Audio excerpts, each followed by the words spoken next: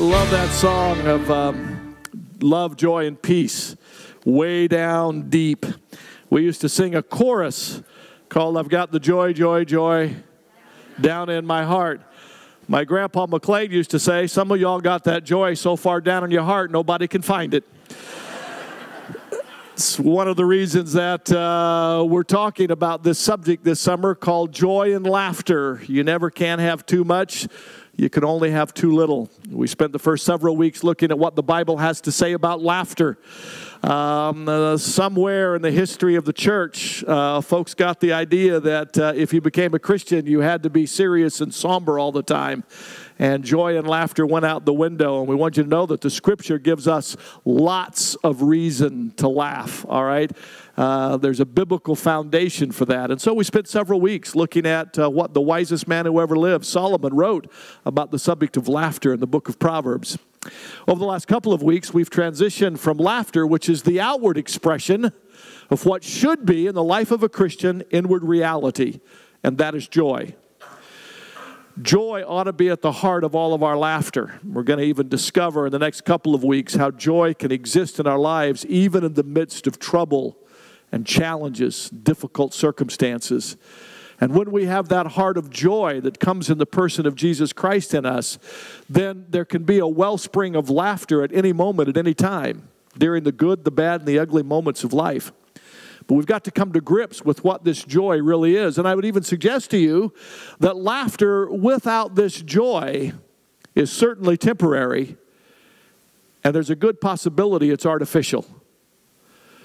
But when this laughter in our heart comes out of this wellspring of joy that Christ brings to us in a relationship with Him, then even in the troubled moments of our life, that sense of joy can overflow into laughter at difficult moments.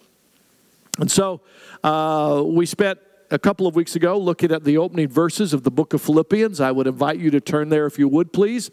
You'll find the little letter to uh, the church at Philippi tucked away between Romans and Revelation. It's only about three or four pages long, uh, but you'll find it between Romans and Revelation, the latter part of the New Testament.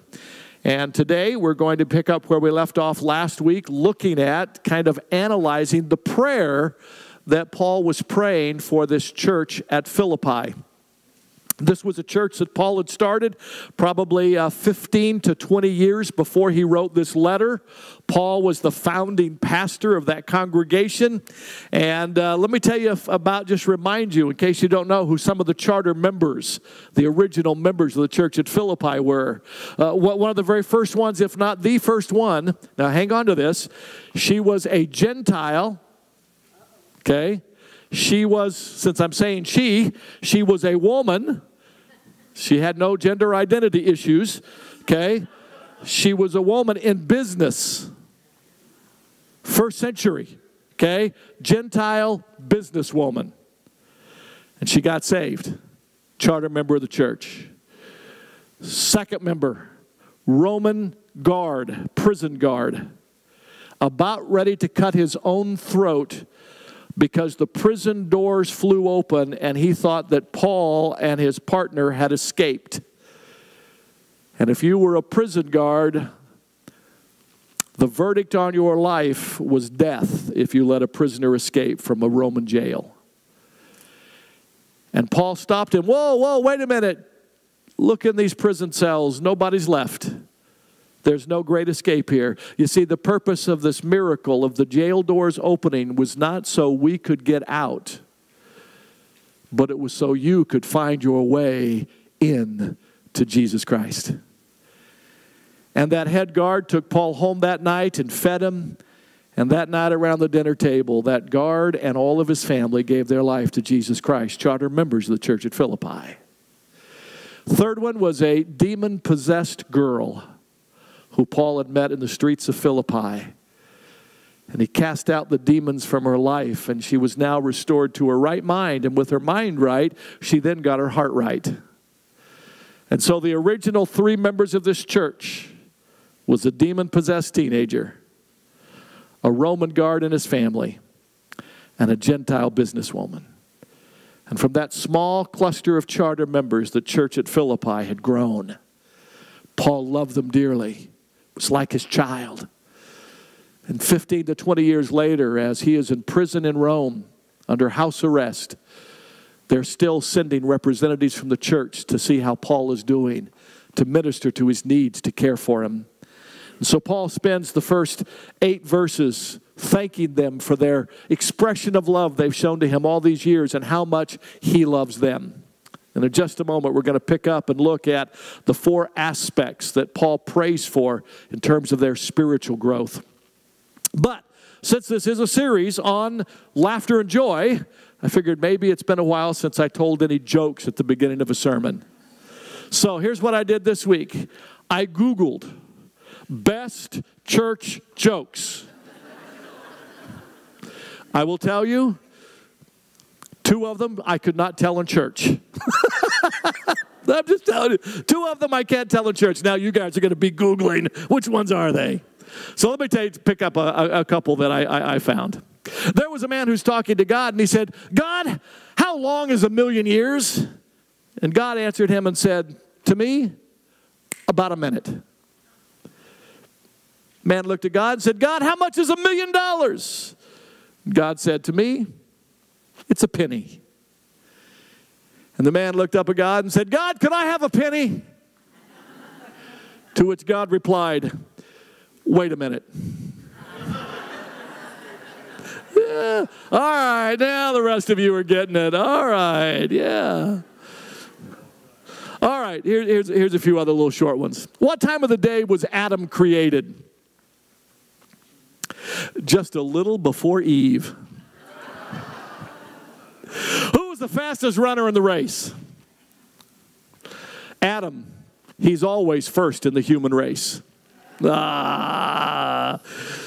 Okay, here's a okay. You all know what atoms are? A T O M S, not atom, A D A M, but atoms, all right? You know, atoms, molecules. Okay, all right.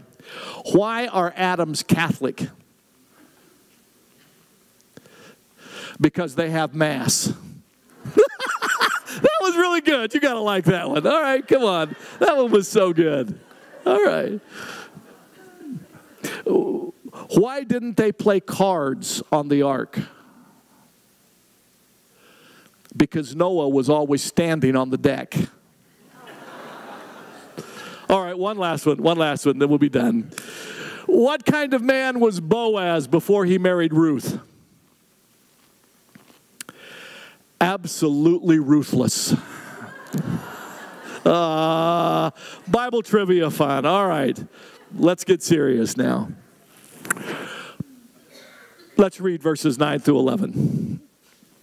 And Paul says, And this is my prayer, that your love may abound more and more in knowledge and depth of insight, so that you may be able to discern what is best, and you may be pure and blameless until the day of Christ. Let me just qualify real quick the day of Christ. It's one of two moments. It's either the day that Christ returns and we are caught up to be with Him. It'll be the most incredible ride you've ever been on in your life. Or the day in which we die and He walks with us through the valley of the shadow of trouble and death. Which, whichever it is for us. We will be filled up until then with the fruit of righteousness that comes through Jesus Christ to the glory and to the praise of God. So, having expressed his love for them and his gratitude for their love for him, Paul prays that they grow in four aspects of their spiritual maturity. He prays that they will grow in spiritual devotion, love. He prays that they will grow in spiritual discernment. He prays they will grow in their spiritual development, healthy growth. He prays that they will grow in spiritual deportment. I needed a word that meant behavior that began with a D, okay? So, spiritual deportment.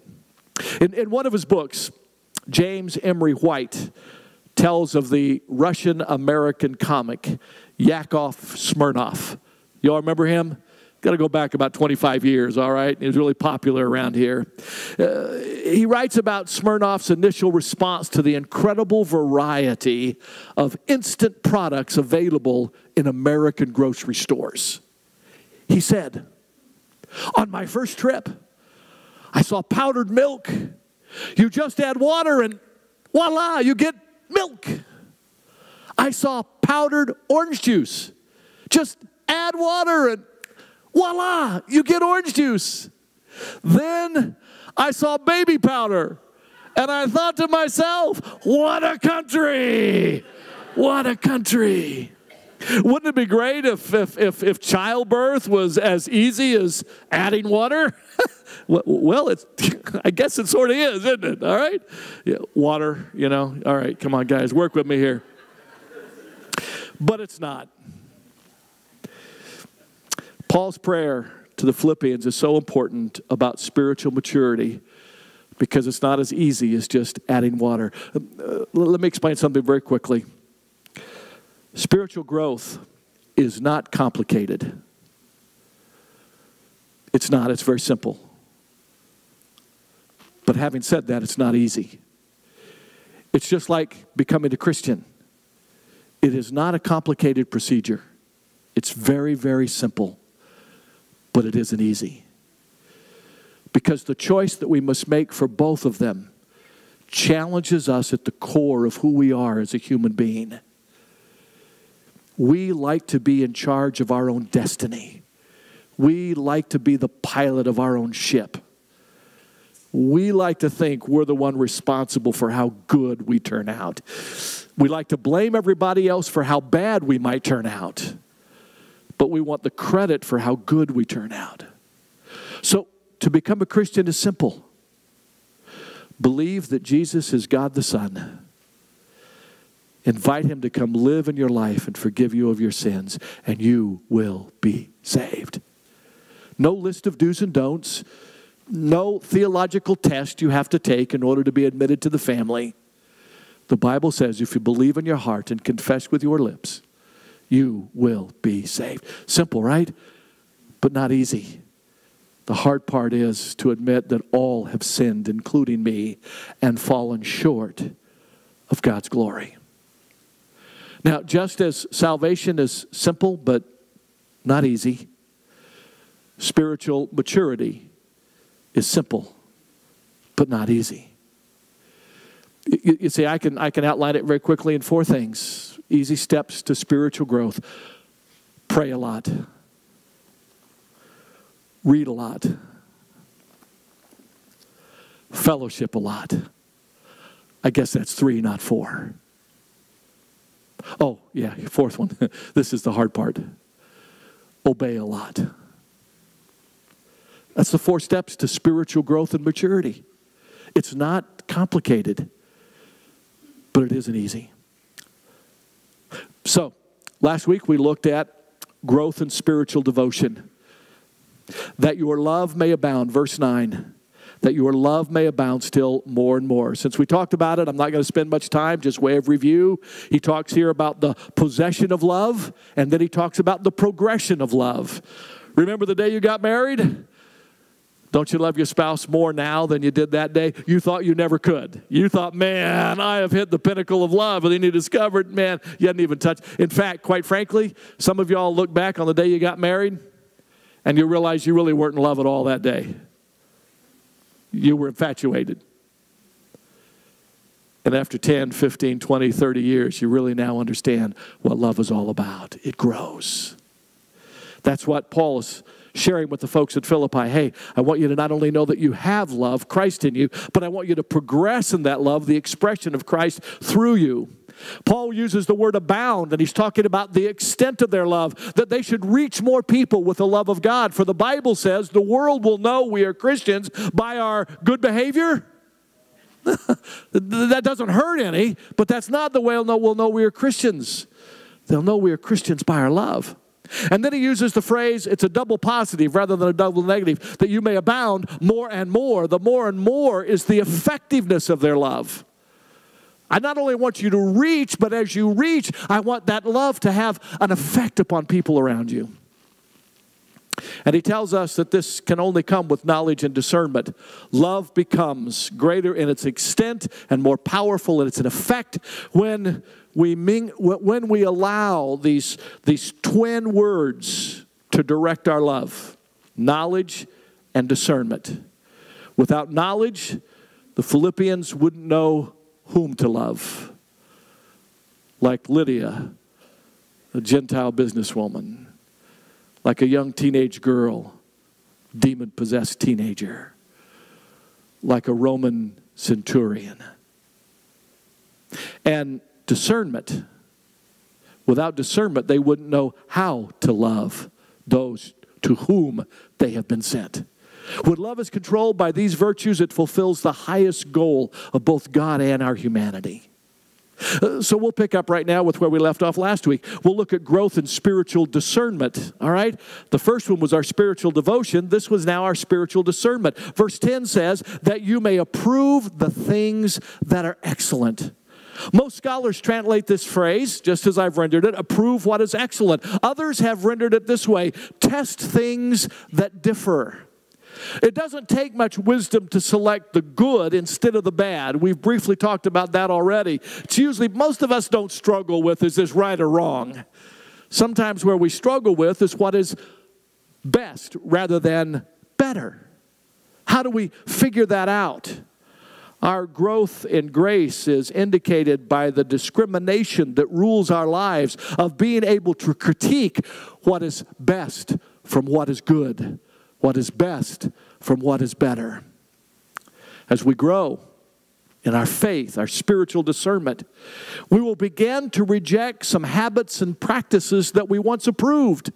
Not because we've come to a point that we think those habits may have been bad for us, but simply because they should be replaced with other habits that are even better for us. We often are blinded by rules for the sake of our appearance. I don't know if you grew up in a church at all that had a list of rules that was far more than the Ten Commandments. The Bible had 10 commands, and the church had 25 rules. And that was often done for appearance sake, so that folks would look and say, Oh, yeah, I know they're Christian because they don't go to the movies. Is that what most folks say? Oh, you're a Christian because you don't do this or because you do. No, the Bible says they'll know you're Christians by your love. And so we connect this to the principles of God. And, and, and, and in Romans, Paul spoke of exercising, Paul spoke of this exercise of learning to determine between what is better and best when he said in verse 2 of chapter 12, you and I should know what, what is good and acceptable and the perfect will of God. The perfect, not just what falls into the will of God, but what is the perfect will of God for your personal life. That there's a book out, been out for quite some time called The Power of Habit, about how so much of our daily life is lived by habit. We have to live that way. Our brain needs habits in order for us to function at a really high level. You see, just about everything we do is habitual. How many of you wake up about the same time every morning, whether your alarm is on or off? Yeah, yeah. There's a few of you sleepyheads who you could sleep right through your alarm. All right. My oldest son is that way. All right. All right, he can have that alarm right here by his head and he'll sleep right through it. But, but most of us, we, we develop a, a habit, a routine. How many of you kind of go through the same routine Monday through Friday when you get up and get ready to go to work? It's kind of the same every single morning. Yeah, it's okay to raise Yeah, okay, most of you do. Yeah. these are routines that we get. Um, how about the way we walk? How many of you think about whether you're going to lead with your right foot or your left foot when you take off to walk? When you get up out of a chair, how many of you think, I wonder it's how many steps it is to where I'm going? No, you don't, because you have an iPhone that will keep track of that for you, all right? It will tell you exactly how many of them that you've, you've gone through, okay? Um, I only have one pair of pants that has the phone pocket on the right leg, all right? So I sometimes don't know where I put it. It hasn't become a habit yet. Um, when you're two, and you're learning to walk, your brain spends a lot of energy training your brain to walk and shift weight so that you're balanced. You ever watched a two year old learn to walk? All right, they, they're a little off balance. Why? Because their brain hasn't figured out this habit of walking yet. They're just learning. But oh, by the time they're three, they give no thought, man. They are gone like a bullet.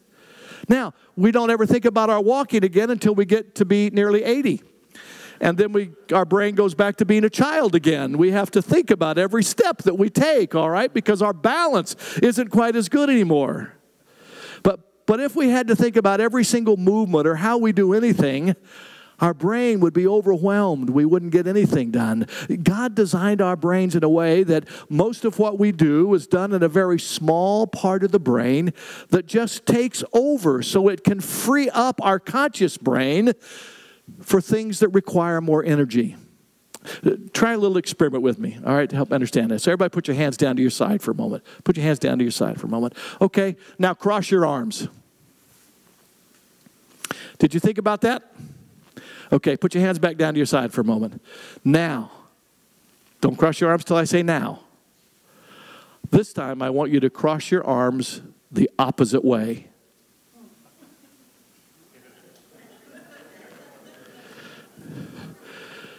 That's not very easy, is it?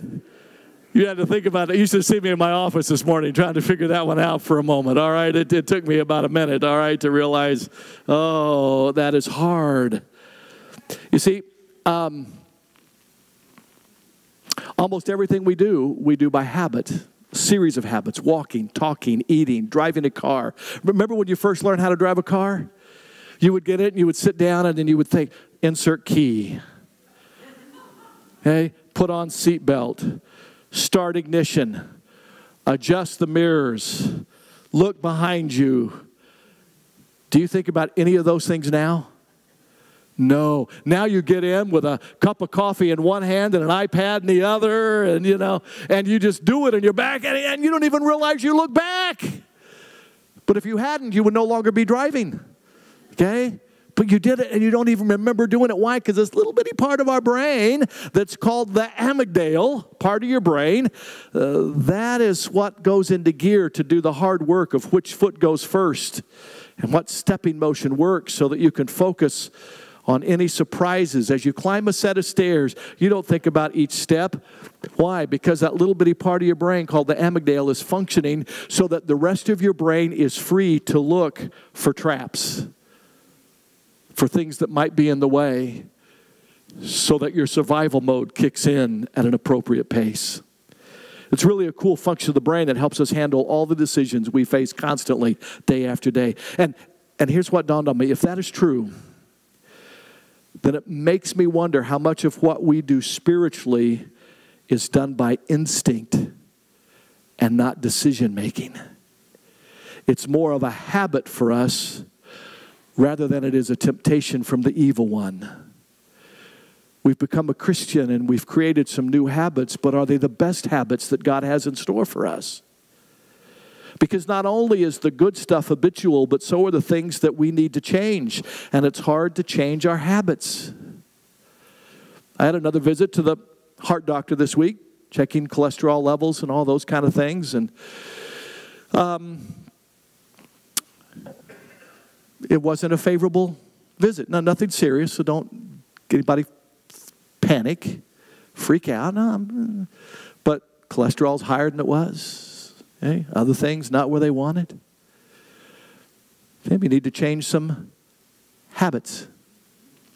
Okay? So started three, four weeks ago, five weeks ago, Shannon and I started dieting already. Right after the blood work, we started dieting. Didn't know the results yet, knew they weren't going to be good. So it's, I'm confident if they did blood work today, things would be a little better than they were six weeks ago. But the last three weeks, every evening, I've been getting off the couch at about 8.30 to 9, and I walk for an hour to an hour and 15 minutes. Okay? Brisk, late, hitting it. Feel better. Hopefully, it's lowering some of those things that needs to be lower. But you see, up until then, you know what my habit was? Once I get home from here, if there's nothing else to do, couch potato. Okay? Doctor told me I can't run. That was my excuse for not exercising anymore.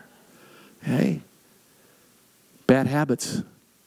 Bad habits lead to poor consequences. Change our eating style. We've done that considerably. Now, does that mean I'm never going to eat peach cobbler again? No, I'm going to eat it again. This time, though, I won't eat the whole peach cobbler. When I sit down, I'll have just a piece, all right? It's called moderation in some of these things, but we, we have to create some new habits. It, it, you see, it's easy. Well, let me say it differently it's simple, but it's not easy. Because at 9 o'clock, I'm ready to get out of my clothes and into my bed. So you got to make a hard choice. And the first week or two, it was hard for me to make that choice. Now,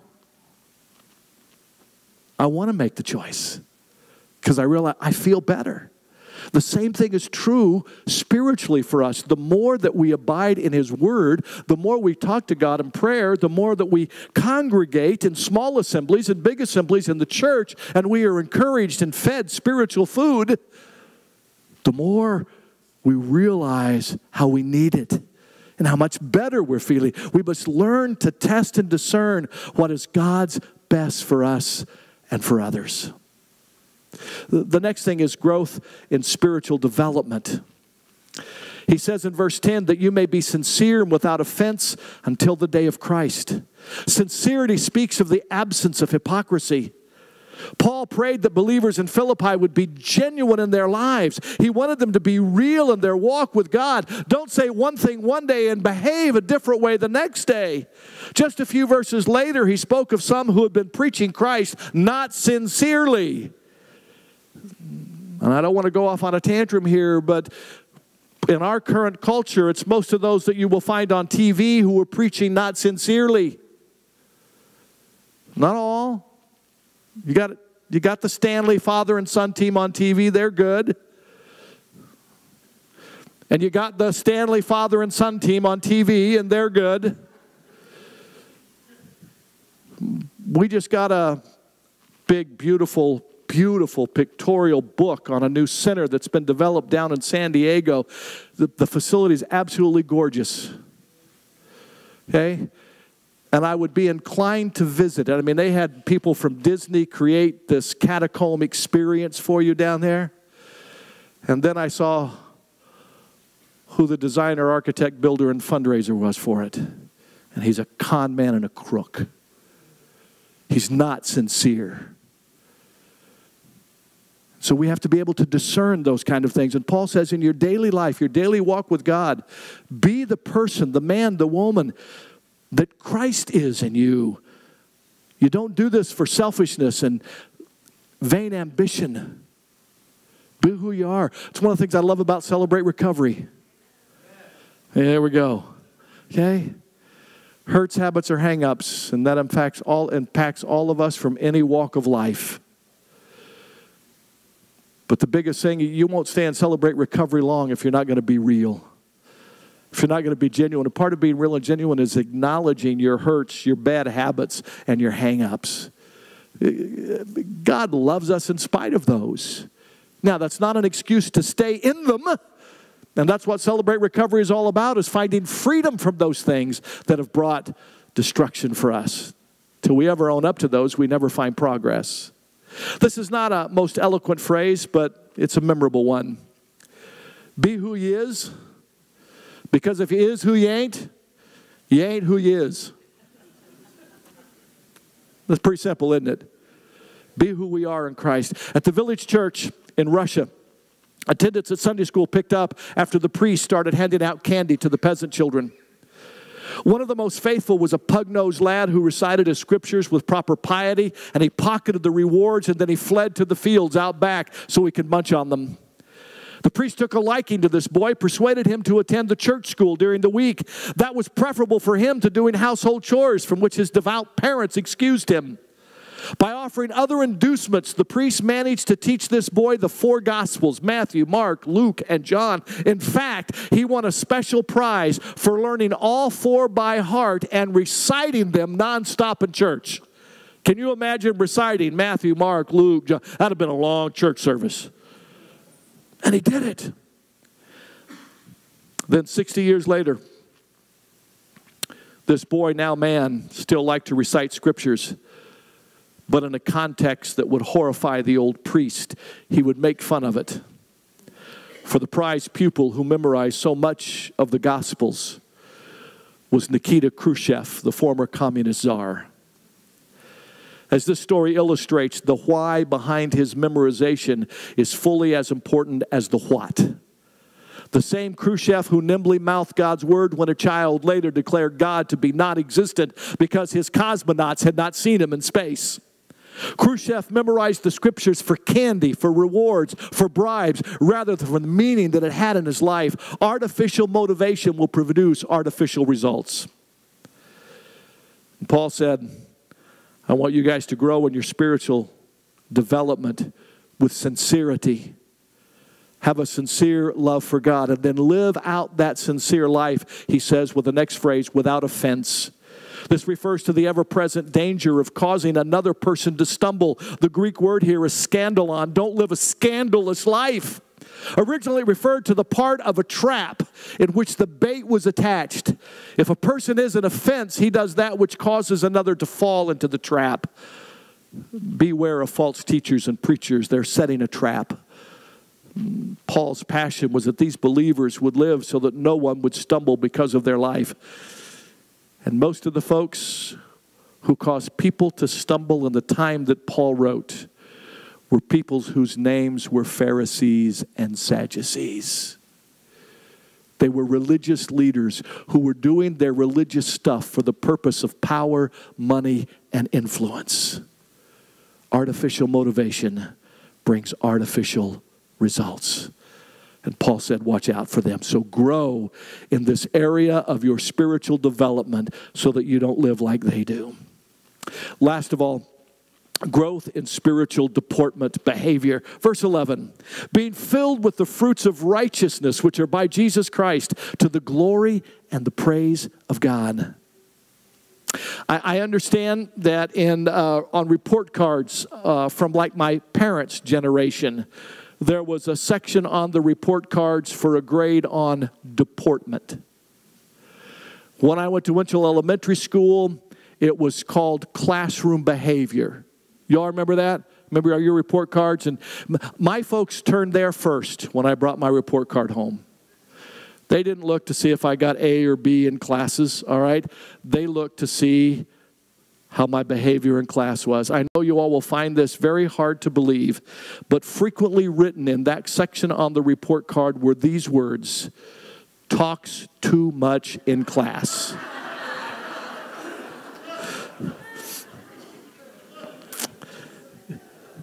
I got rewards when I didn't have that written on my report card, all right?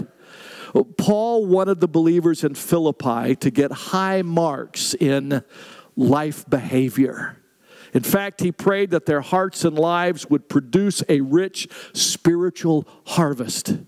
If their roots were in Jesus Christ, then the harvest should be the fruits of righteousness which come by Jesus Christ in us. Last night, as I went for my walk, I was thinking about today's message. And I began to reflect personally about growing older and spiritual maturity. In 30 days, I have to sign up for Medicare. So I have to acknowledge I'm growing older. And I realized that at this stage in life, I have a decision. It's quite frankly the decision we have at every stage of life. It just sometimes has a different twist depending on our stage. But I realize I have two choices at this stage of my life. Will I allow my chronological age to be that which shapes my spiritual development? I have to be careful here because I don't want anybody to think I'm talking about you. I've watched this over my lifetime. It's not true for everybody. There are exceptions I could throw out, but I've, I've witnessed this a lot that when folks get to a certain age of retirement, there's almost the sense that they are retired also from Christian growth and maturity. How many seniors have you heard say, I love being a senior, I can say whatever I want to? No, you can't. And no, you shouldn't. I mean, you can, but you shouldn't. Yes, you have wisdom to impart, and yes, you have knowledge that should be shared. But remember, motivation and action go together. What's the purpose of it? Hey, I'm retired. I don't. I, have studied the Bible for 30, 40 years. Why do I need to keep doing? Well, I, why do I, I? I understand if you can't drive and get out anymore, but age, other than that, should not be an excuse for not being engaged in Bible study. How about have folks drive to your house now? You see, will I allow my chronological age to shape my? Will I become stunted as I get older?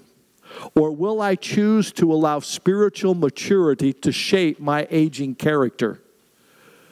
Will I still allow the Holy Spirit to produce in me more and more of the fruits of righteousness? Will I live by habit or will I live by choice? So, on my walk last night, I thought through the fruits of righteousness and what would Jesus like to reflect through me in this next stage of life that I'm entering.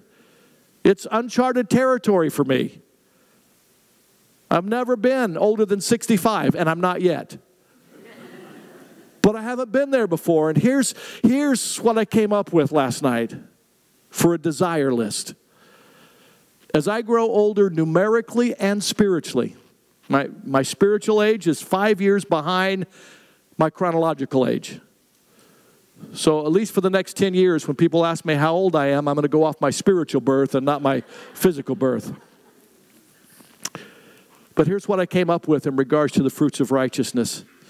You're going to write these down, babe, because you're going to have to remind me about these, okay? I have them. I have them here. You don't have to actually write them. You see, I want to grow kinder as I grow older, not more stubborn. We often use our age as an excuse to be stubborn. Shame on us. I desire to grow more patient, not more frustrating or frustrated.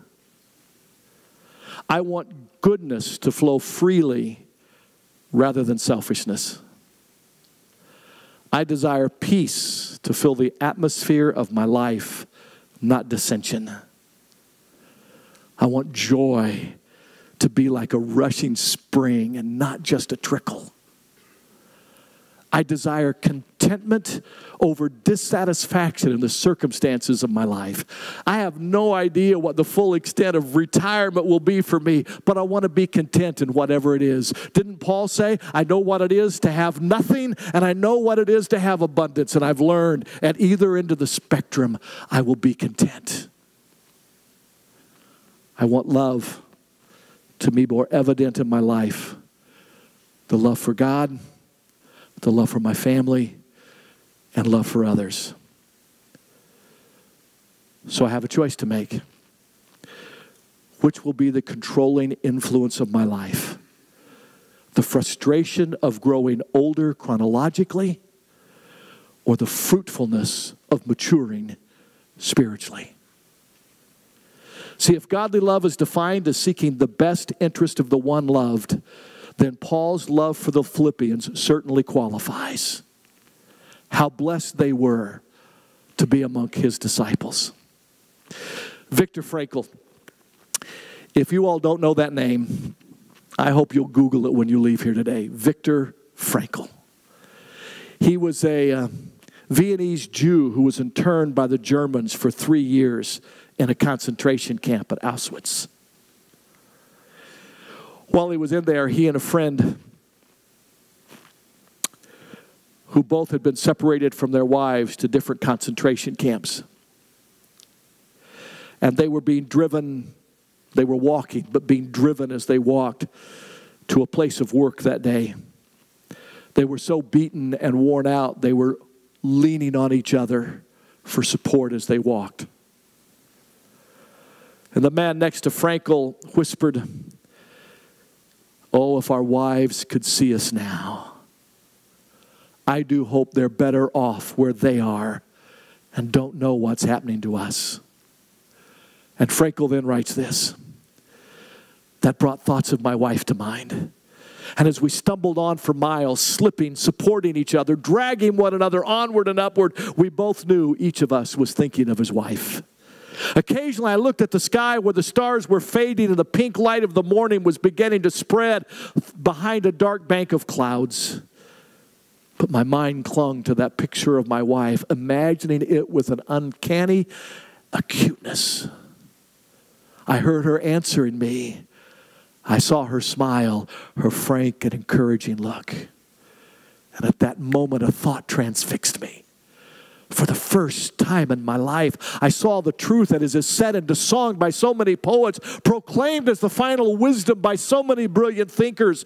I discovered the truth that love is the ultimate and highest goal for which we can aspire. And then I grasped the meaning of the greatest secret that human poetry and human thought and belief have to impart that salvation is through the love of God and in Jesus Christ. Great love. No greater love has no man than this, that one laid down his life for a friend.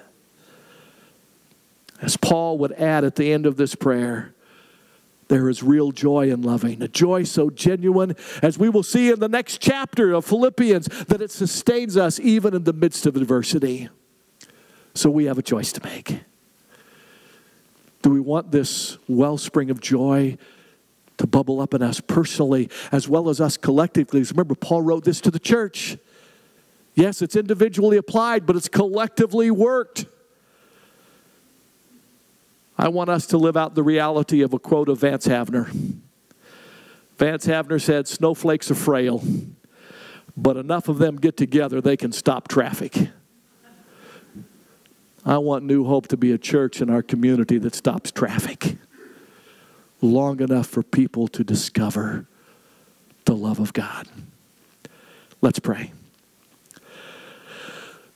Our Father, thank you for what you moved in Paul's heart to write, and thank you for the way in which you preserved this for 2,000 years so it's available to us today. Father, just as Paul prayed for the church that he pastored back then, I pray for this church today. I pray for us that we will grow in spiritual devotion and discernment and development and behavior. We, we don't compare ourselves to others. We simply, Father, say, God, where do you want to take me next? And we take the next step of growth. Give us the wisdom to discern between better and best making those choices about habits and lifestyle and decisions that are directed and motivated by you. Give us the wisdom to know the difference. In Jesus' name we pray. Amen. God bless you. Go have a great day.